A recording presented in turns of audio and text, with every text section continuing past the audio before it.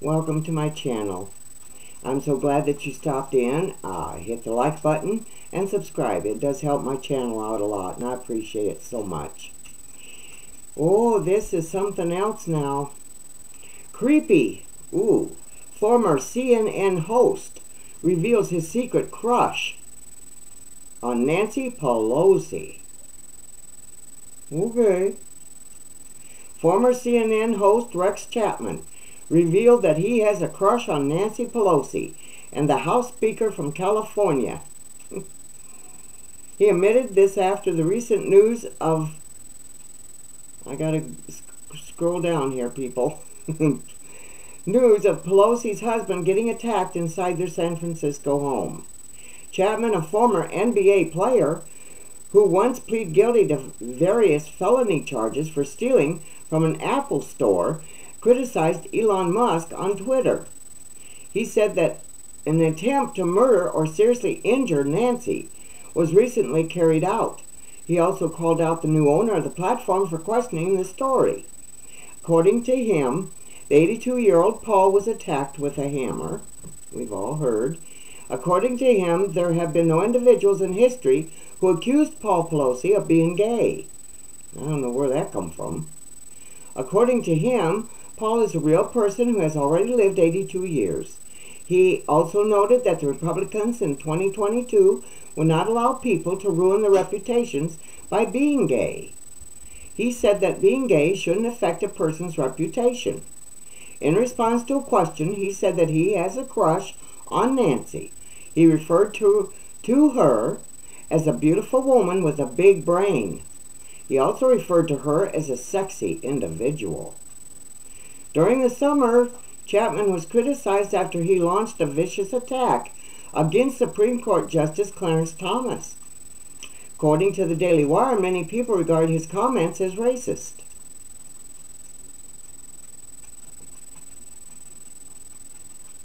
I don't know what to say about this at all.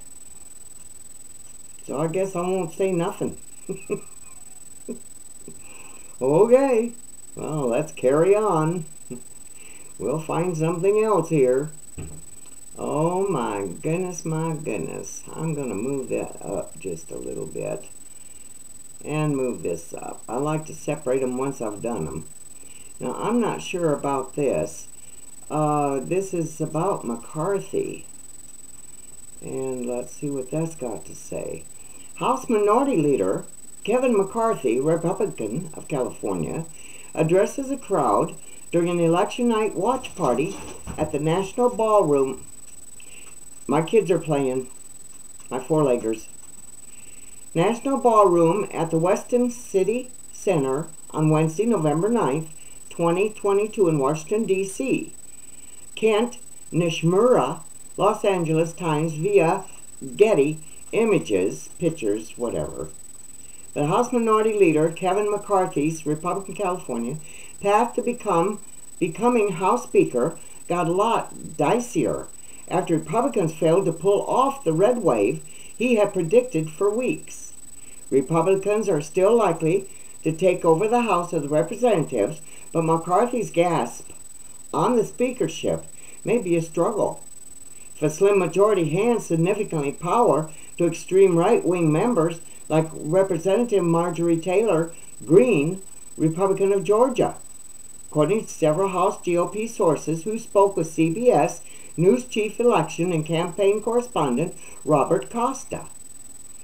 A restless morn inside Congregational, Congregational GOP, Costa wrote on Twitter, haven't seen this level, level of anxiety and loathing since late 2015 as Trump ascended.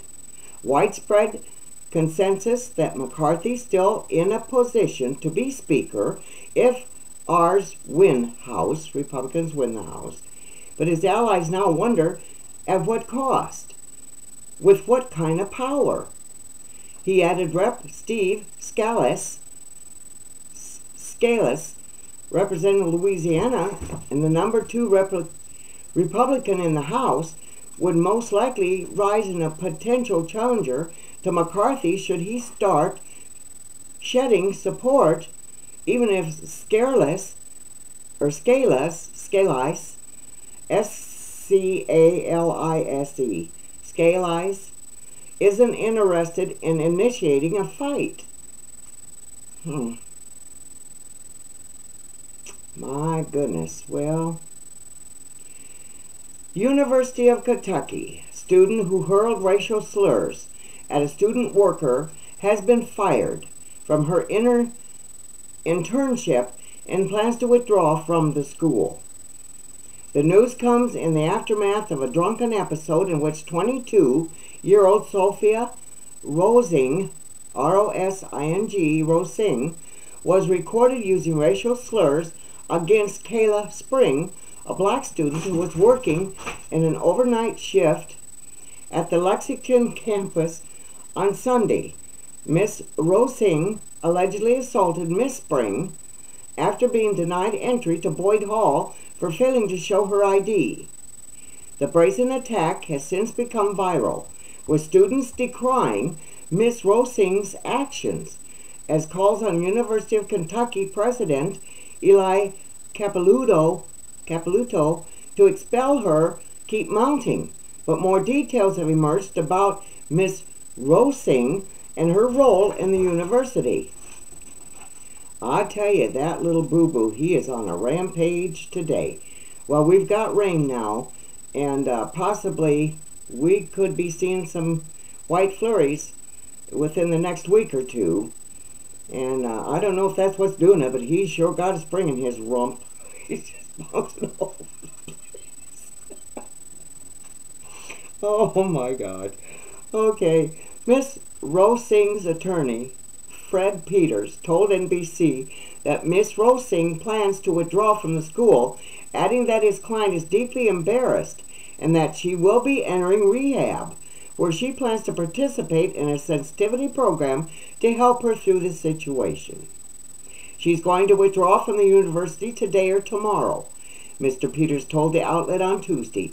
She's a very, very embarrassed and humiliated young lady. Well, that's not good. According to local news station WKYT, Miss Rosing is a business and marketing major at the university. A since deleted uh, LinkedIn page stated that she was double majoring in merchandising, majoring in merchandising, appeal and textiles, and worked as a brand ambassador at the Dillard's department store. Well, it sounds like she's got a a good uh, career getting going, you know. It says continue reading, but I'm not getting nothing. No. I don't know why this happens, but it does. It blacks out. It says continue reading, unless uh, it says, okay, go back to home. Just follow me through here, people, because I have no idea. Oh dear, here's a here's a headline. I'll have to look into this one. Uh, police and CCI Des Moines. Now there might be other Des Moines, but we've got Des Moines here, you know, uh, 200 some miles from where I live. Five arrested, six charged in Des Moines drug-related kidnapping investigation. Wow. and Vladimir Putin to bail out from the G20 summit amid alleged fears of being slapped. Okay. Well, I guess that's it for now. So, uh, I'm going to uh, dig up some more. I'll be back later. Bless you. And give someone else a blessing. I always like to say that. It makes me feel good.